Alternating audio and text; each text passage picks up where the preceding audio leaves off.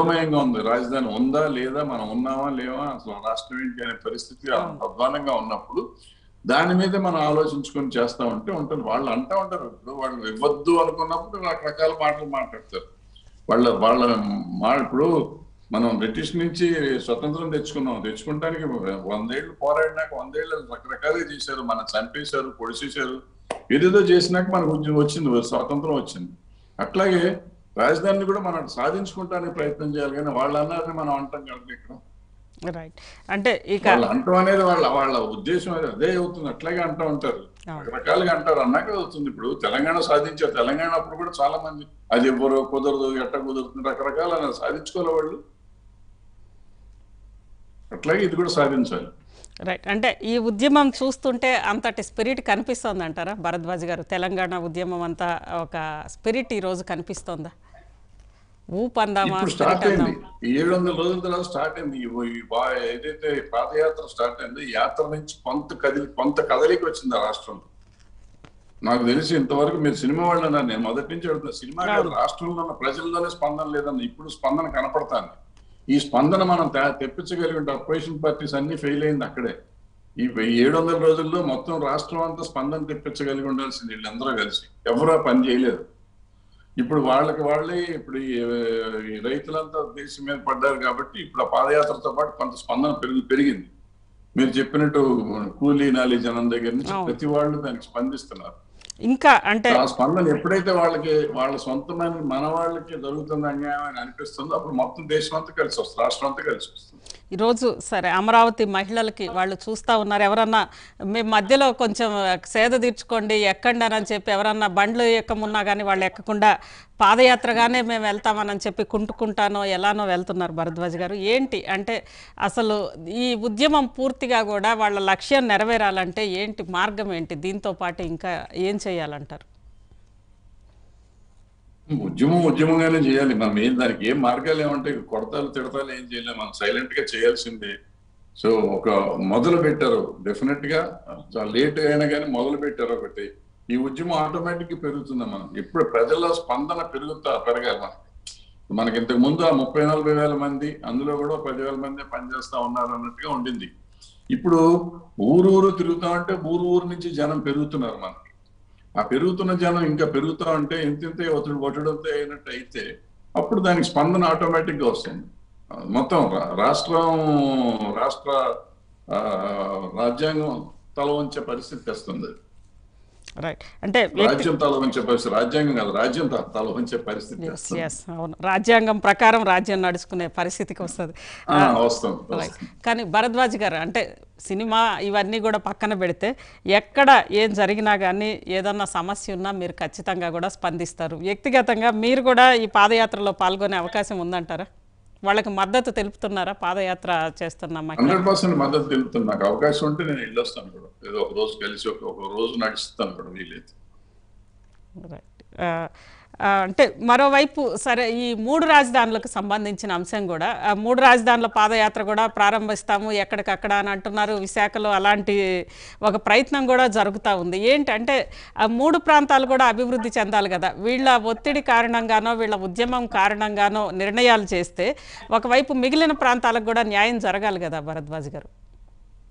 మూడు ప్రాంతాలు కాదు ముప్పై ప్రాంతాలను అభివృద్ధి చేయమని. ఇప్పుడు రాజ్యం ఇప్పుడు మనం ఎవరికన్నా ఓటేసి గెలిపించామంటే దేశం అంతా రాష్ట్రం అంతా బాగు చేయాలి దేశం అంతా బాగు చేయాలని ఓటేస్తాం. నా ఒక్క నా ఓటేసాను కాబట్టి నా ఇంటికి మాత్రం పని చేయమని ఎవరికి ఓటేయం కదా మనం. మన రాష్ట్రం కోసం దేశం కోసం ఓటేస్తున్నాం మనం. సో మిగతా చోట్ల చేస్తున్నారంటే సంతోషం. చేయమనండి ఎవ్వరూ వద్దంటలేదు. ఇక్కడ ప్రాబ్లం ఏంటంటే నా ఉద్దేశంలో నాకు నాకు క్యాపిటల్ కూడా కాదు. నేను పర్సనల్గా నేను మాట్లాడితే నాకు అమరావతి క్యాపిటల్ కూడా అక్కర్లా నాకు నలభై వేల మంది రైతులు అక్కడ ఇచ్చిన ముప్పై మూడు వేల ఎకరాలు మనకు అక్కడ ఇచ్చినప్పుడు ముప్పై మూడు వేల ఎకరాలకి ఏడు వేల ఎనిమిది వందల కోట్లు మూడు పదివేల కోట్లు దగ్గర దగ్గర ఖర్చు పెట్టినాక దాన్ని పాడుపడేటట్టు చేయకుండా ప్లస్ ఈ ముప్పై వేల మంది రైతులకి మనకి అంతకు ముందున్న గవర్నమెంట్ ఒక హామీ ఇచ్చింది. ఇది నేను ఇంత డెవలప్ చేస్తాను. మీరు క్యాపిటల్ తీసేసుకున్నా మాకు బాధ లేదు. అమరావతిలో క్యాపిటల్ కూడా వద్దు నాకు ఏ ప్రామిస్ అయితే గత గవర్నమెంట్ చేసిందో అంటే రైతుకు జరగాల్సిన న్యాయం లేకపోతే సస్యశ్యామలైన ల్యాండ్ అది. అది అద్భుతంగా మూడు పంటలు నాలుగు పంటలు ఉండే ల్యాండ్ని ఇవాళ నాశనం పాడుబాటు వీడు పెట్టే పెట్టేసి వాళ్ళ రైతులకి ఏమీ లేకుండా చేయటం అనేది తప్పు అన్యాయం అది. సో వాళ్ళకి వాళ్ళకి ఏదైతే విజన్ చూపించారో గత ప్రభుత్వం ఆ విజన్ చూపించగలగాలి. అది అది మేజర్ నాకు ఇష్యూ అది చెయ్యాలి అనేది నా ఉద్దేశం. చేయించాలి. వాళ్ళ మెడలు వంచన్నా ఆ పని చేయించాలనేది నా నా ఆలోచనగా నాకు నాకు ఉన్న నాకు తట్టినది. ఈ పాదయాత్రతోటి ప్రభుత్వ మెడలు వంచగలరంటారా భరద్వాజ్ గారు? లేదా పోనీ వాళ్ళ నమ్మకం ఎందుకంటే దేవస్థానం వరకు వెళ్తున్నారు కాబట్టి ఏదో వెంకటేశ్వర స్వామి ప్రభుత్వ పెద్దల దీంట్లో మార్పు తీసుకొస్తారు అని అని చెప్పి కూడా ఒక నమ్మకం ఎక్కువగా అది కూడా కనిపిస్తోంది ఎక్కువగా. ఎందుకంటే చూస్తున్నాం వెంకటేశ్వర స్వామిని ముందు పెట్టుకొని వాళ్ళు ఆ కీర్తనలన్నీ కూడా పాడుకుంటా కూడా వెళ్తున్నారు జై అమరావతితో పాటు.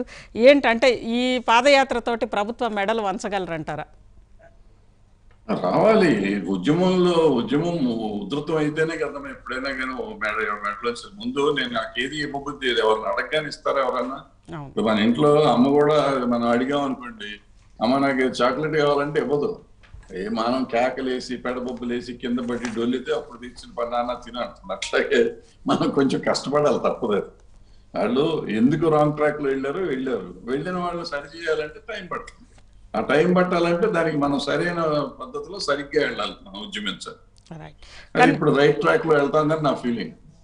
ఇంత ఇంత పాజిటివ్గా ఉద్యమం పట్ల ఉంటున్నప్పటికి కూడా ఎందుకంటే మనం చూసాం మిగిలిన ప్రాంతాల్లో ఈరోజు ప్రకాశం జిల్లాలో కానీ ఎక్కడైనా కూలి చేసుకునే వాళ్ళు కూడా వాళ్ళకు వచ్చి మేము ఉన్నామని చెప్పి చెప్తున్నప్పుడు ఇళ్ళల్లోంచి కూడా బయటకు రావడానికి భయపడి ఇళ్ళల్లోంచే వాళ్ళు గో హెడ్ అని చెప్పి సింబల్స్ చూపిస్తున్నారు భరద్వాజ్ గారు. ఇలాంటి టైంలో ఒకవైపు సరే ప్రభుత్వము ఇటు మూడు రాజధానులు ఇవన్నీ కూడా పక్కన పెడితే ఇప్పటికి కూడా ఇంకా ఉద్యమానికి కులం ముద్రే వేస్తూ ఉన్నారు.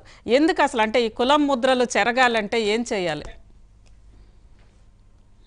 అది ఇప్పుడు ఇవాళ కొత్తగా వచ్చింది కదా కులం ముద్ర వేసేసారు ఈ మధ్యకాలంలో చాలా వాటికి కులం ముద్రలు వేసారు చాలా దౌర్భాగ్యము అన్యాయము దీనికంటే దిగజారుడుతనం లేదు.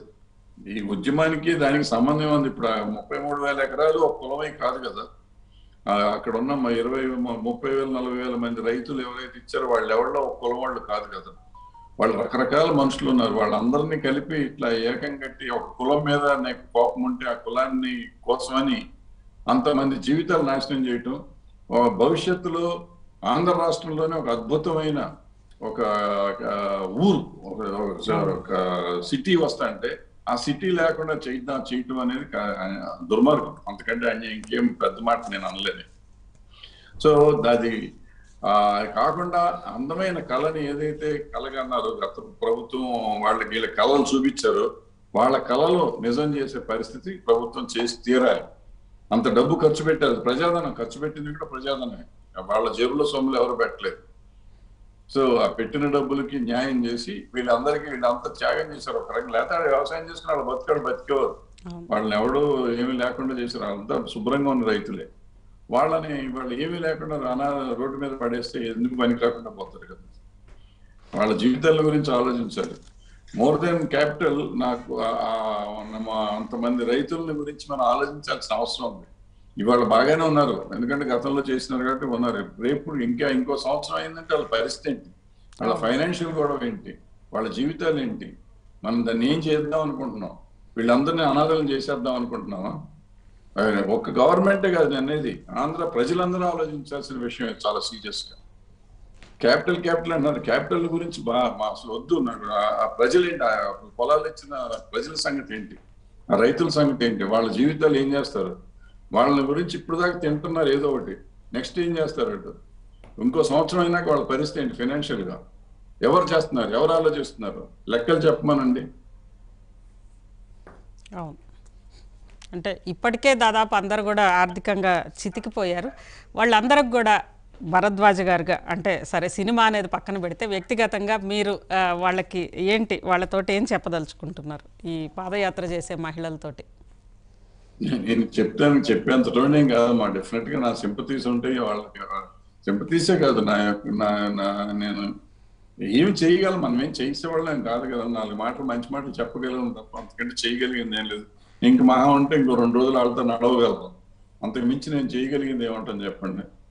సో డెఫినెట్గా ఆ రాజధాని రావాలని ఆ రైతులందరూ రాజధాని కాకపోయినా అమరావతి అనే కళ నిజం అవ్వాలి.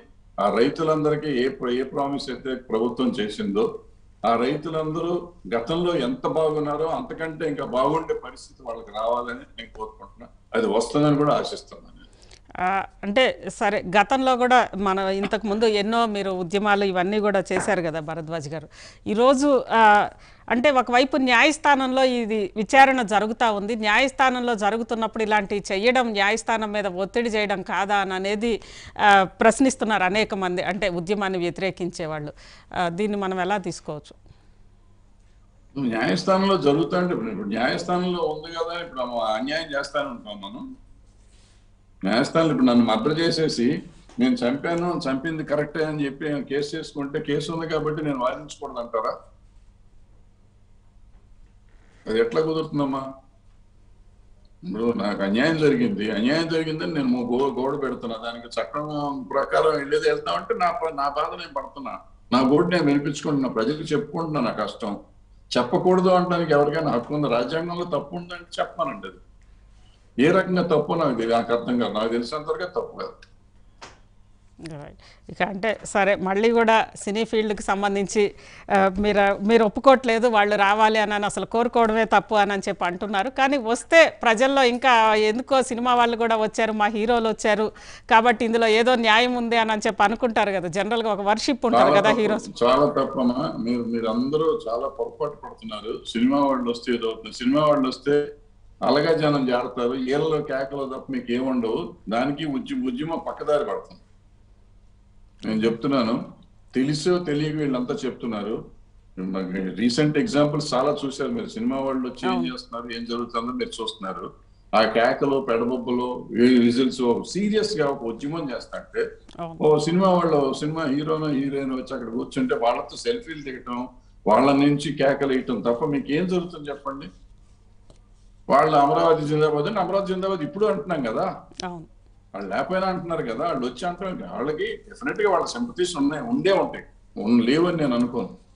డెఫినెట్గా సినిమా ఇండస్ట్రీ అని సపోర్ట్ చేస్తుంది. బట్ డెఫినెట్గా వాళ్ళు వస్తే డైవర్ట్ అవుతుంది. మీరు అర్థం చేసుకోవాల్సిన విషయం ఏంటంటే వాళ్ళని అడగ మాట్లాడితే వాళ్ళ గురించి మనం మాట్లాడతాం కంటే వాళ్ళు వచ్చి దాన్ని ఇంపాక్ట్ దెబ్బతీస్తారని నా ఫీలింగ్ నా నమ్మకం కూడా. రైట్ చివరగా భరద్వాజ్ గారు ఒక్కసారి ఆ మహిళలకి మీ వైపు నుంచి మీ వాయిస్ అంటే చెప్పండి మీరు ఏం చెప్పదలుచుకుంటున్నారు? ఆ నడుస్తున్న మహిళలకి సంబంధించి మీ నుంచి మీరు ఏం మెసేజ్ ఇవ్వాలనుకుంటున్నారు? ఏమి నేను మెసేజ్ ఇచ్చేది అంత పెద్దవాడిని కాదమ్మా. డెఫినెట్గా వాళ్ళందరికీ న్యాయం జరుగుతుంది. జరగాలని కోరుకుంటాను. వీళ్ళు